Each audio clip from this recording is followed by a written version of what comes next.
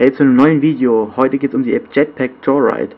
Die ist äh, relativ neu und da sehen wir das Game direkt auch. Das ist direkt das Menü und unten rechts sehen wir dann mein Highscore nebenbei. Das ist im Moment 4009, äh, 4791 Meter. Wer mehr hat oder weniger, kann mal unten in die Kommentare schreiben. Würde mich mal interessieren, ob jemand mich toppt. Auf jeden Fall kann man hier noch weiter ins Menü. Das zeige ich im Nachhinein. Man kann hier direkt anfangen. Das Spiel ist simpel gemacht, im Prinzip wie Tiny Wings, ein bisschen anders. Wir sind hier dieser, dieser Joyride, ich habe vom Optik her habe ich den jetzt geändert. Man kann hier Münzen sammeln und man muss versuchen, einfach äh, so weit zu fliegen, wie es nur geht. Man muss natürlich diesen, die nennt sich Zepper, die muss man ausweichen und man fliegt, indem man ähm, auf dem Bildschirm tappt und wenn man gedrückt hält, fliegt er ganz nach oben und wenn man loslässt, dann landet er auf dem Boden und tut halt äh, rennen es kommt dann unterwegs ähm, sozusagen ja so so Art Kisten. Hier sehen wir jetzt eine. Und dann haben wir immer verschiedene Möglichkeiten also verschiedene äh, Anzüge zu bekommen oder so ein Roboter oder was auch immer gibt. Und dann können wir mit dem Rennen hier können wir die Gravitation ändern. Hier haben wir jetzt eine Spin-Marke das kommt jetzt dann auch.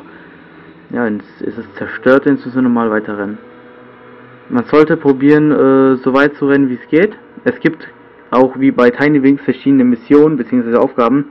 Ich habe jetzt Schießen mit 10 Sepper, äh, in einem Spiel knapp daneben. Schalte 25 Wissenschaftler mit kleinen Stampfer aus, 25 sind noch übrig. Und beende ein Spiel zwischen 1000 und äh, 1100 Meter.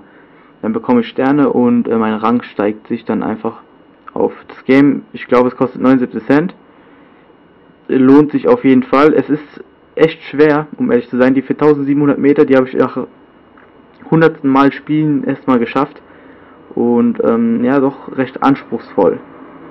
Ich zeige das jetzt mal einfach hier, damit ihr ein bisschen sehen könnt, wie das funktioniert. Und sobald ich hier irgendwo gestorben bin, zeige ich euch Rest, den Rest. Ja. Dann gehen wir zum nächsten. Das ist durchgedrehter, durchgedrehter Teleporter. Der ist zum Beispiel. Oh, ich finde das Ding jetzt nicht so dolle. Mir gefällt am besten der Stampler. Stampler? Stampfer. Oder wie auch immer. Okay.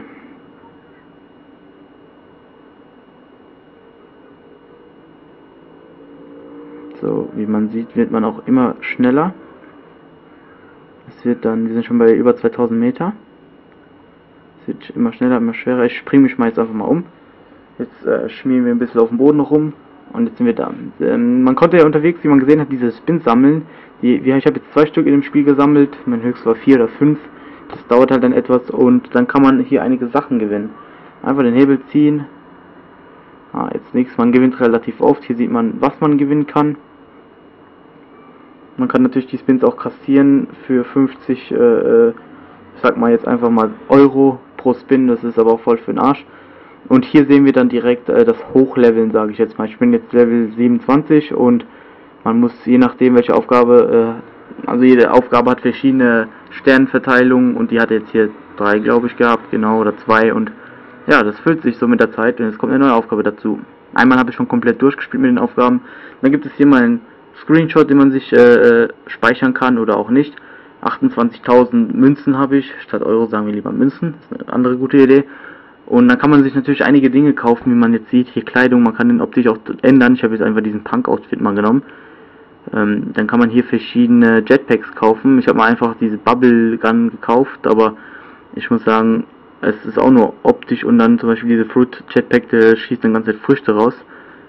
Fahrzeuge kann man upgraden mit diesen Magneten. Das habt ihr vielleicht gesehen, dass äh, die ganzen Münzen zu mir teilweise automatisch geflogen sind. Und dann kann man hier noch äh, ähm, ja, die, die Fahrzeuge vergolden lassen. Habe ich bisher den Stamper, Stampfer, weil der halt so mein Lieblingsding ist.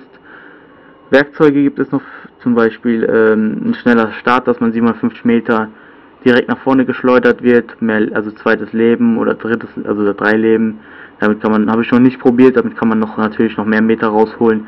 Mein Profil erfolge und dann kann man natürlich mit echtem Geld noch Münzen kaufen. Ansonsten war's das.